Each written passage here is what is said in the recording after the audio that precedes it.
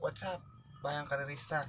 Welcome back to my channel at kung bago ka pa lang, eh, i-subscribe mo na yan at i-hit ang notification bell para po updated tayo sa mga racing tips, giya at race analyze ko tuwing weekdays and weekends racing days po natin. At huwag po natin kalimutang i-follow ang aking FB page na mga silip at giya ni Master Lekim Lekim para po updated po tayo sa mga post ko din po at sa mga info about tungkol po sa karera, schedules at yung oras po. Ah, yun lang po. Maraming salamat po at God bless sa lahat. Ako po pala ang inyong lingkod, si Master Lekim at ito po ang aking mga silip at giya sa karera. Bago po ang lahat, please subscribe my YouTube channel, Master Lekim Lekim at pakipollow din po ang aking FB page, Master Lekim Lekim din po para po updated po tayo sa lahat ng mga racing tips ko, guides ko tuwing Sabado at Linggo. Let's go mga kamaster! What's up mga kamaster, bayang karerista?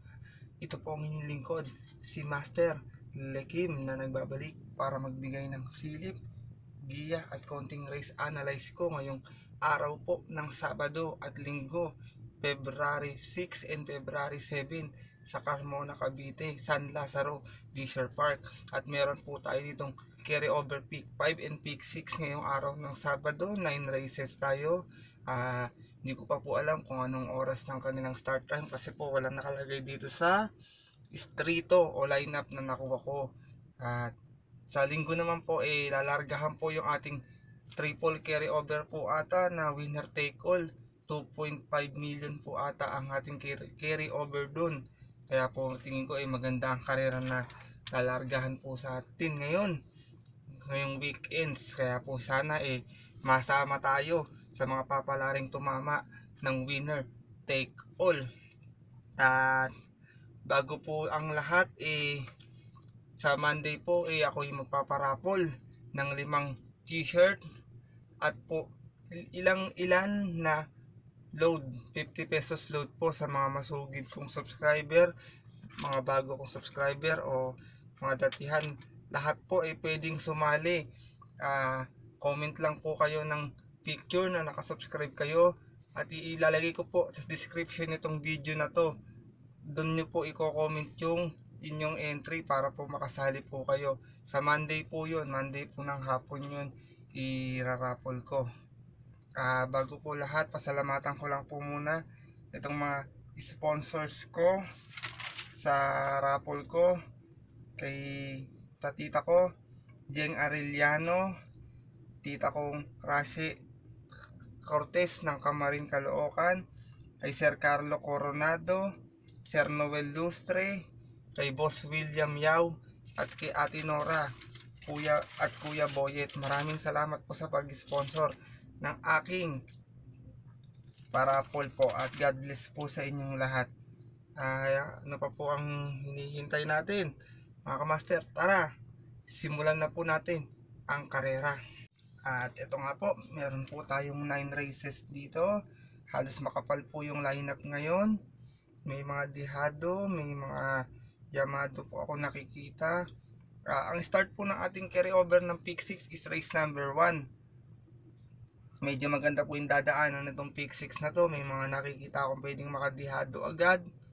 At may nakikita naman po ako medyo nakakalamang sa mga kung sakaling magtitipid tayo ng kapital at yung pick 5 naman po natin ay ng carry over na to ay nasa race 3 po mga kamaster. Kaya ito po simulan ko na mga kamaster. Race number 1 po tayo. Isa po itong 3 year old and above maiden race. Meron po tayong 14 runners dito full gates po. At ang ating karera ay lahat po is 1400 ah meron po tayo ditong pick 6 carry over na 322,749 and 0.29 cents. Ah, ito pong karera na to eh anybody's race po para sa akin. Kasi yung iba po dito eh tagupa ang preba. At yung iba naman po eh medyo nakakatakbo-takbo na nito mga past weeks o past days na tumatakbo na to sa karera natin. Pero dito po madalas nagkakadihaduhan sa ganitong mga maiden race. Ah, first choice ko po dito mga kamaster tong number 7 kiss muna Kasi po ito, napanood ko po ito, lumalaban to sa malalakas, kina Flattering You, Kevlar, kina Charmbel, yung po mga kalaban nito, sila Meteora. Kaya para po sa akin, eh, angat siya dito, o di ko lang po alam kung siya ang mayayamado sa karera na to. Kaya siya ang aking first choice. Second choice ko po itong number 1 ay nakatuparan. Nasa kay ni J.A.A. Guse. Ah, mamatulin po ito, tingin ko ito mauuna dito. Segunda po ito kay Arabiata sa Novato run nila. Dito po sa San Lazaro. Ah, alam naman po natin ng mga kabahay ni Sir Peter Aguila eh, puro nasa unahan.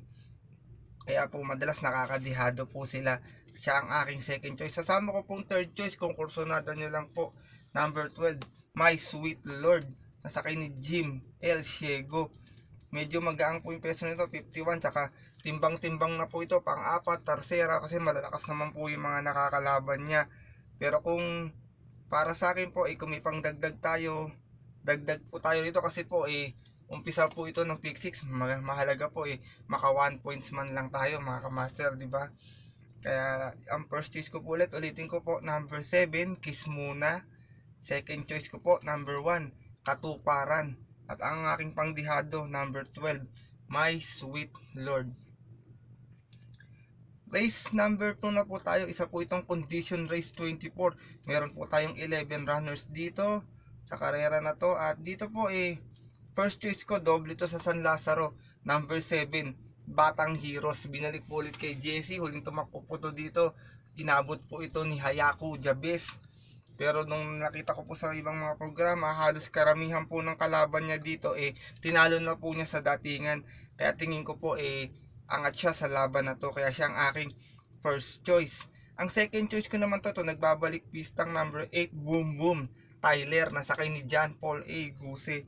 Minsan na po siyang tinalo ni Batang Heroes nung nakita ko po sa lumang programa.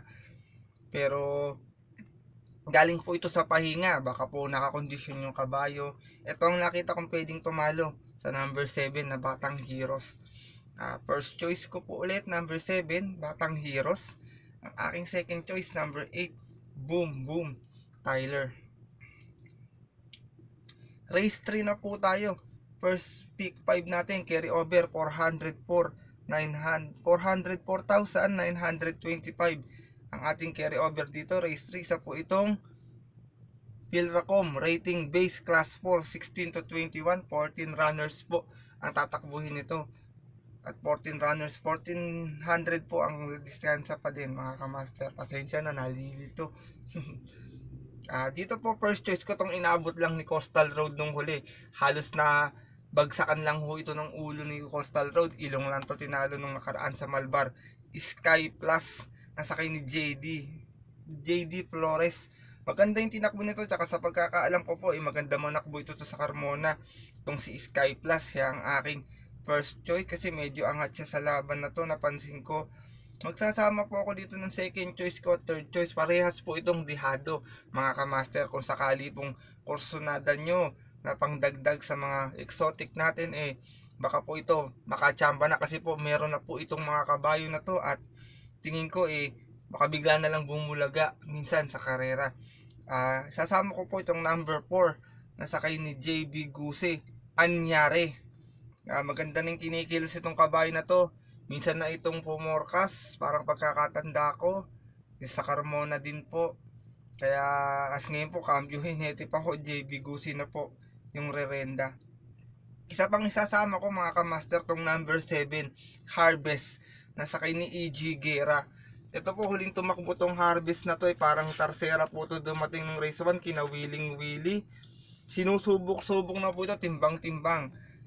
Kaya po tingin ko eh baka makadihado magkaroon agad ng dividendo yung mga ating carryovers o mga exotic bets kaya kung may pangdagdag po tayo eh sama po natin sila kung kursunada po natin mga kamaster. First choice ko po ulit number 2 Sky Plus. Ang second choice ko number 4 Anyari at pang long shot ko number 7 Harvest. Race number 4 na po tayo. Isa po itong condition race. 19. Meron po tayo ditong 9 runners. Ah, tama po ba? 9 runners but 10 in betting and option. Dito po first choice ko. Pwede ko doon pong solohin. Pero hindi ko ho kasi maganda gustuhan yung medyo panalo nito nung huli. Itong entry number 1, Kakain Bachi. At, sa, at ngayon po eh, parang kay Big Boss James Rabano na po ato itong kabayo na to, nabenta na po. Couple entry po sila ni Manda Tum. Sila ang aking first choice na pwede nating solohin kung magtitipid tayo. Ah, second choice ko po, sasama ko, tingin ko lang na makakapagbigay ng upset sa kanya. Itong number 7 na nagbabalik pista, patong-patong. Nasakay ni JD Flores. Huling tumakbo po si Patong Patong Presidential Gold Cup, December. Ah, ngayon po eh, January, February, medyo dalawang buwan na rin po lumipas, nakapagpahinga na rin siguro tong kabayo, baka po nakakondisyon na siya po ang nakikita ko magbibigay ng upset dito sa number 1 and 1A na to. Ah, first choice ko po ulit, number 1 and 1A, Kaka and Bachi, and number 1A, Mandatum. Ah, second choice ko po na magbibigay ng upset tong number 7, Patong Patong. Race number 5 na po tayo. Pilracom rating base class 4, 22 to 27. Meron po tayo ditong 13 runners.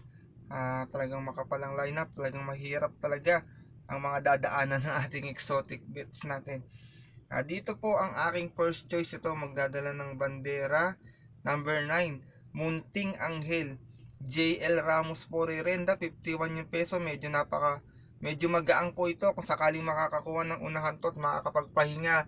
Baka po makatapos ito mapabayaan kasi karamihan po ng kalaban niya eh puro manggagaling po sa likod. Siya lang po ang nakita ko may tulin dito sa karera na to. Na tingin ko eh wala naman ako golden buzzer. Tingin ko hindi naman siya kayang irehan. Kaya parang sa akin eh solo unahan to. Munting anghel number 9 second choice ko po ito meron na nung huling tumakbo. Number 7 Texas Mighty Coast na sakay ni JD Flores. Galing po kay JB Gusi no nakaraan yan. Ngayon po JD Flores na po rerenda. Ah, konting galaw pa to tingin ko eh makakachamba na to. Nung huli medyo malakas yung nakalaban. Here I am. Ah, hindi siya masyad. Tsaka puro salto inabot nito no. Numero 5 po siya. At sasama ko po dyan third choice. Isa pa po itong mababa sa laban. Number 5 Amelia. Nakabayong San Lazaro po yan. Nung huling natalo kay Stripes of Pink to, hindi naman na to ginalaw na kasi tingin ko po ay parang bida talaga yun si Stripe of Pink. Stripes of Pink ba yun? Stripe of Green. Hindi ko matandaan kung green or pink yung nanalo sa karera nila. Kaya sasama ko po siyang third choice. Ah, first choice ko po ulit, number 9, Munting Anghel. Ah, second choice ko, number 7, Texas Mighty Coast. At ang aking third choice, number 5, Amelia. Race number 6 na po tayo para atingan po ito ng ating pick 6 carry over. Isa po itong Pilracom rating base class 416 to 21 split race po. Medyo para atingan po itong karera na to. Sigurado ako na magulo at sigurado ako na kalat-kalat po yung bentahan dito sa karera na to. Uh, first choice ko po dito mga kamaster, ito lagi kong tinitip sa inyo na minsan nakala ko makakadihado na nung huling tumakbo to. Number 8, Chesapeake Bay na sakay ni IL Aguila. Medyo gumaang yung laban niya dito kaysa Princess Villa, Gonsis Bet po yung huli. Ah, kung makakauna, tingin ko eh, makakaporma agad. Pero nung huli po, eh, tingin ko naman, hindi naman siya nauna doon. Parang gusto niya pa matihin eh.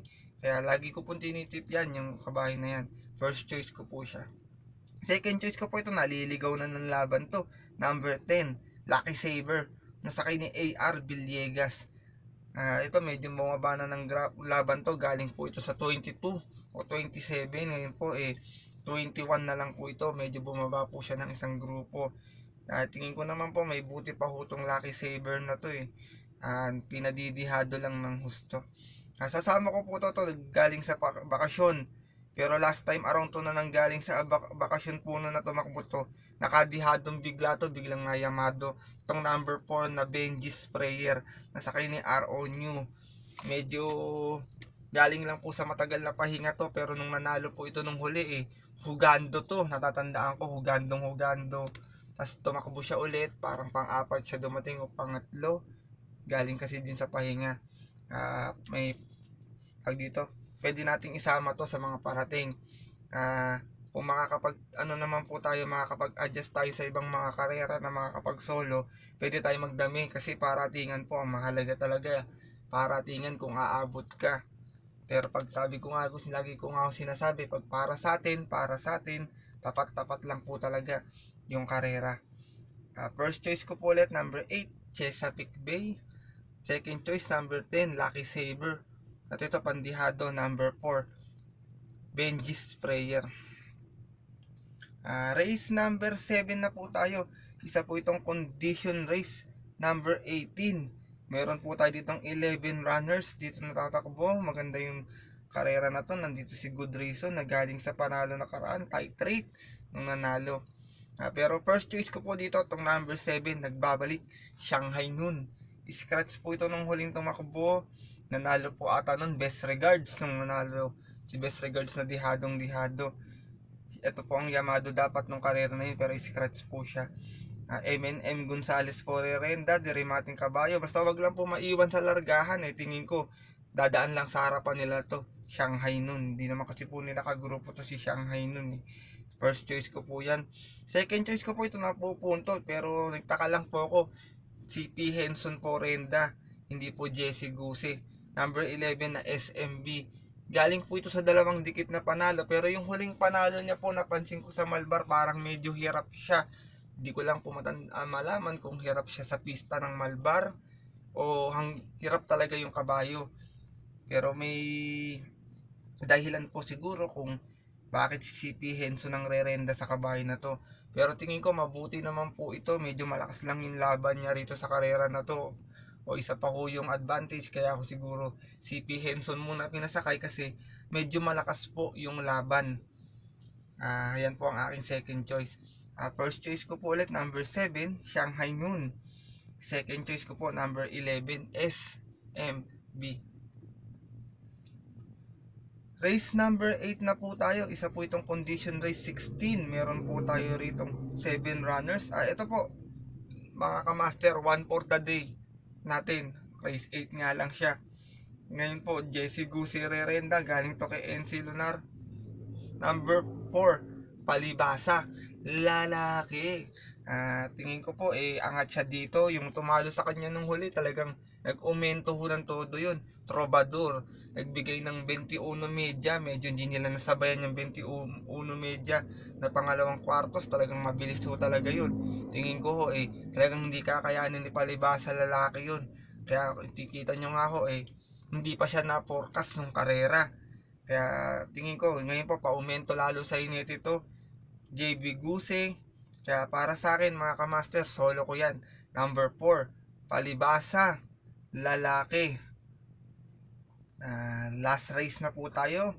Isa po itong condition race merge 10. Uh, meron po tayo dito 12 runners. Dalo, tatlo po yung couple entry natin. 2, 3, and 4. Uh, ito pong karera na to. Maganda kung sakasakali naman ay angat dito yung 4 kasi nawala po si Righteous Ruby na tumalo sa kanya.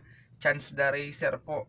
Siya rin ang aking first choice itong kabayo na to hindi ko po siya gusto tumakbo ng 1500 kasi madalas po siya natatalo ng 1500.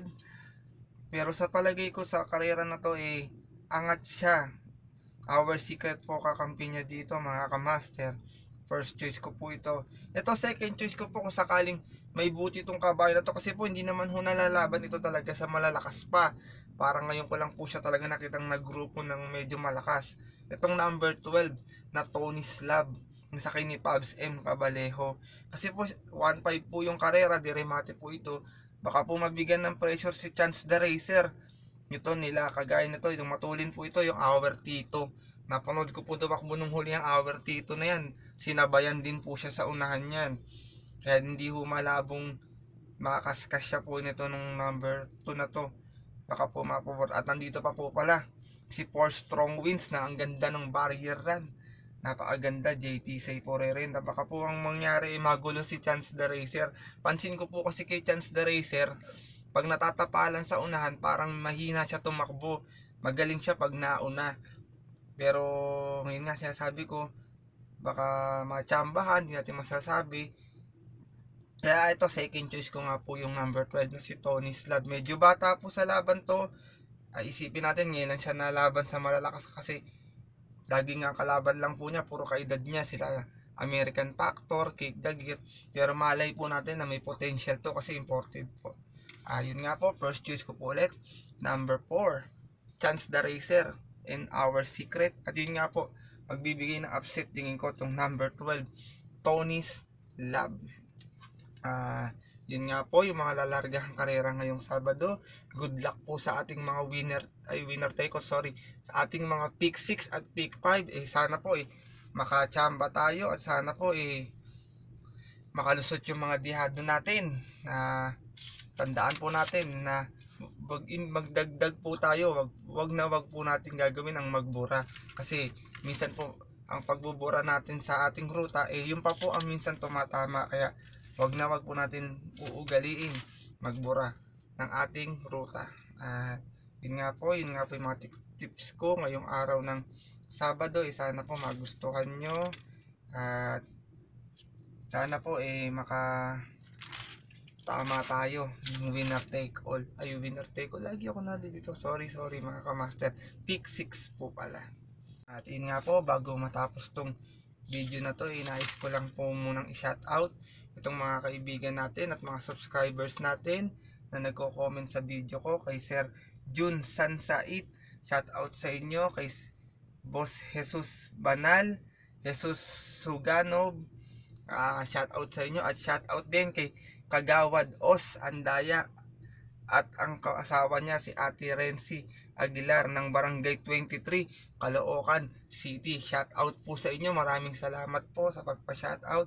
Shout out ko din po pala yung kaibigan kong maganda si Leslie Labastida.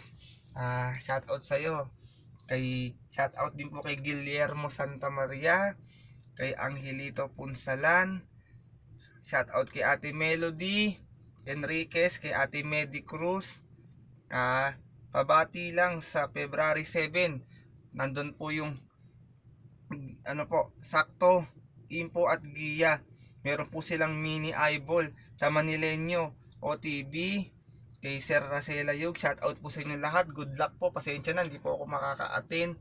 Medyo busy lang po. Pero next time po, aatin focus ng EB. Uh, maasahan nyo po yan, Sir Ras. Kay Rolando. Rolando Baleser. Shout out din po sa inyo.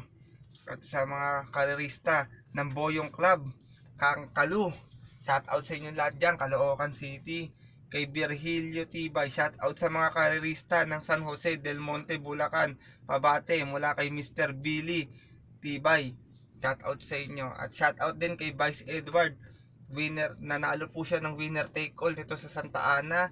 23k po ang bigay. Meron po siya nung 9, Botais and Charm. Congrats sa iyo, sir. At shout out sa inyo. Uh, yun nga po. Uh, sa mga gusto po magpa-shoutout, comment lang po kayo sa video na ito at aking pupusuan at isa-shoutout ko po sa susunod kong video. Ah, uh, yun nga po, ito po ang inyong lingkod, si Master na nagsasabi ng ang karera, tapat-tapat lamang, minsan swerte, minsan malas. Pero pag natapat po tayo sa magandang bigay ng nasa itaas, wag po nating kalimutang magpasalamat sa Kanya at tumulong sa ating kapwa kahit sa maliit na paraan lamang. Yun lang po. Happy racing po sa inyong lahat. Good luck po sa mga winner take all and pick 6 carry over natin. At sana po ay magsitama tayo at maraming salamat. God bless po ulit. Magkita-kita po tayo ulit sa susunod na video. Maraming salamat po mga kamaster. Ako po pala ang inyong lingkod, si Master Lekim. At ito po ang aking mga silip at giya sa karera. Bago po ang lahat, please subscribe my YouTube channel, Master Lekim Lekim. At pakipollow din po ang aking FB page, Master Lekim Lekim din po para po updated po tayo sa lahat ng mga racing tips ko, guides ko tuwing Sabado at Linggo. Let's go mga kamaster!